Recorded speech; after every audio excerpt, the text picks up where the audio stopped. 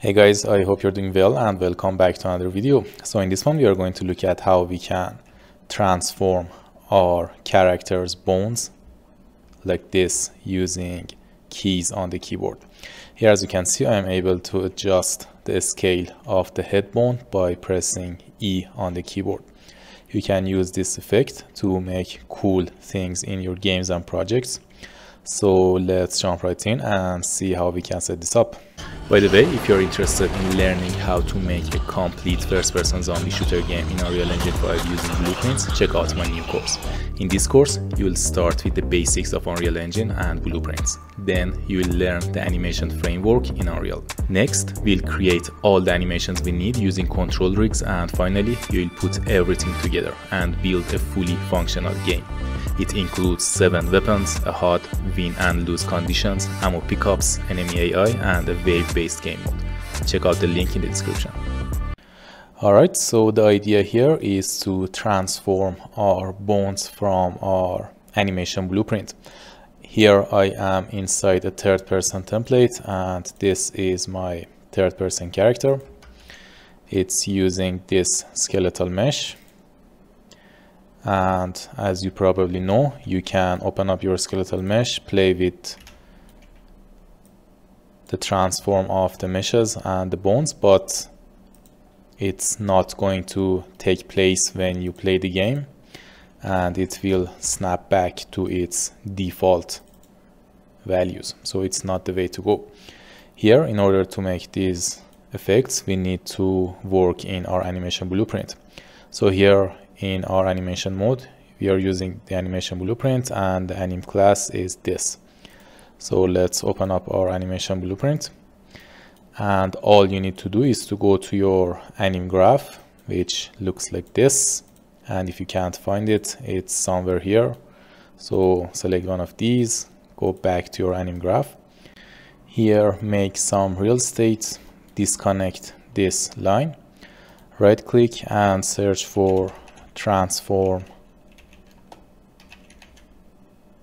modify bone. This is the node that we want to work with. So let's plug it in. And now as you can see when I select this here in the details tab I can define the translation the rotation and the scale of the bone that we want to work with.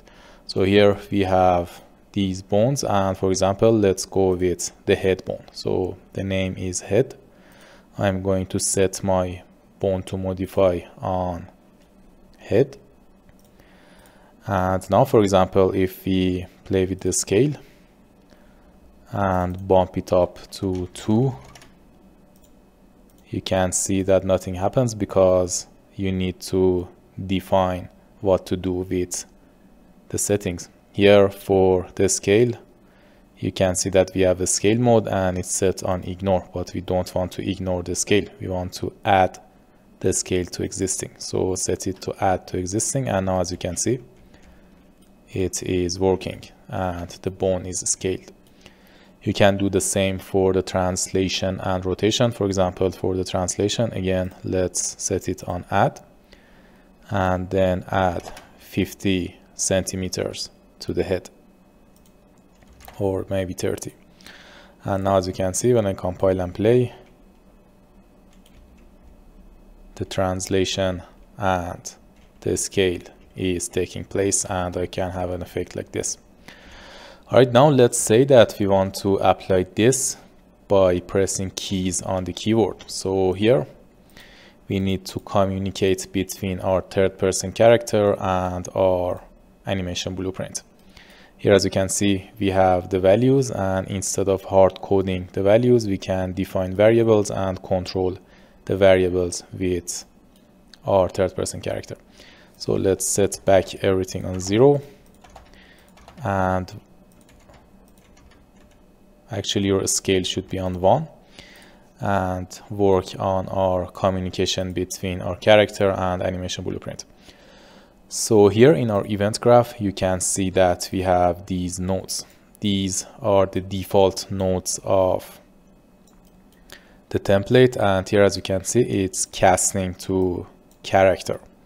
So it works, but a problem here is that it's not casting to our third person character. So if we define a variable here, we will not be able to access it from this area. So this is just a quick setup to see how we can uh, do the transition. But uh, of course, based on your project and your animation blueprint and character setup, you can set your casting. But here, just for now, I'm going to add another cast. And this time I'm going to cast to my third person character. Connect the object and then promote this to a variable. As you can see, it's as BP third person character. I have done it before, so I have two variables here. So let's delete them all and do it again and plug it in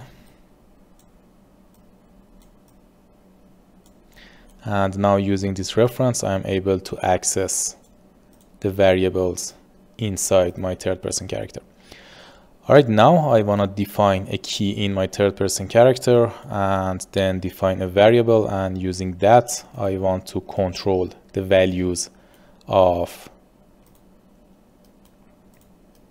these here.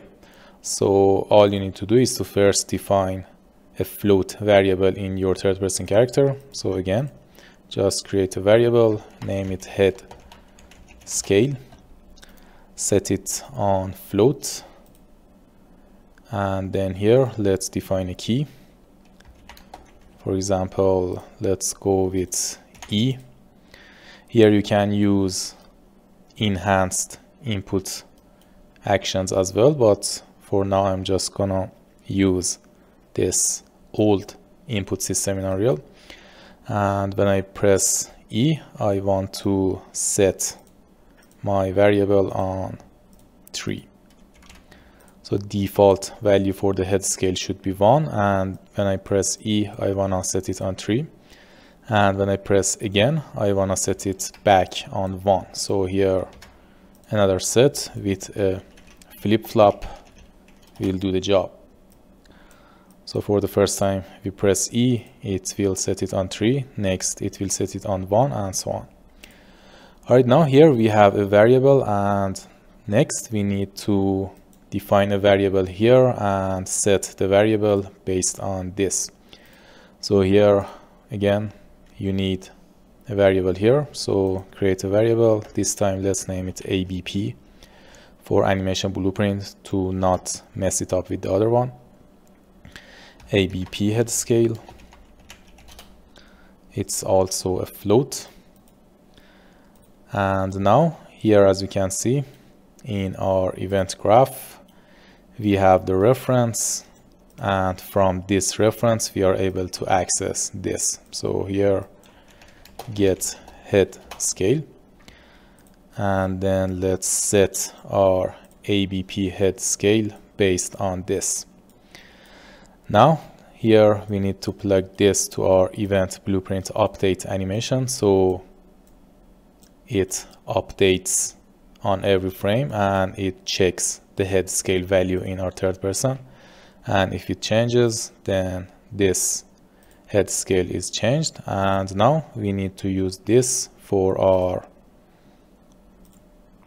values here. So let's grab this. Then let's split our scale and plug this in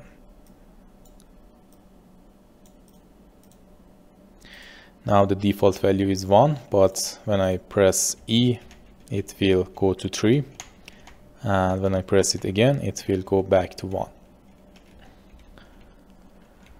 and if you want a smooth transition between the scales you can use a timeline. So let's go to our third person character and here instead of snapping it to different scales use a timeline. So here drag of a wire add the timeline.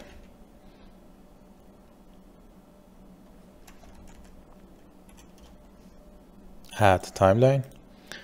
Let's open it up define a float and the float should be about two seconds. So this is the length of our timeline.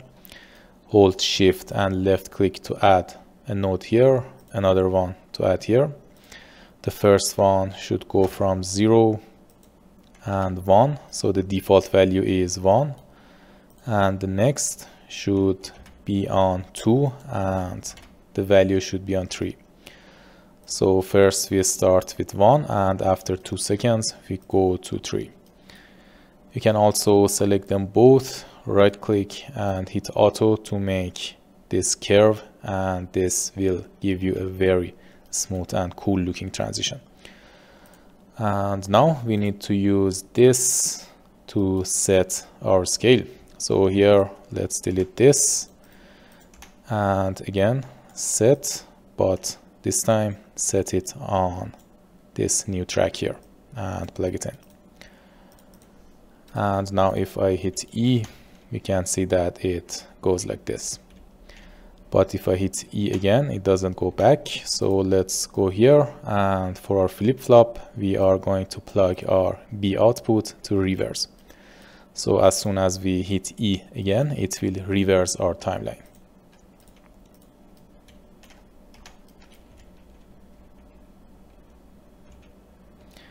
And yeah this is how you can set this up. You can work with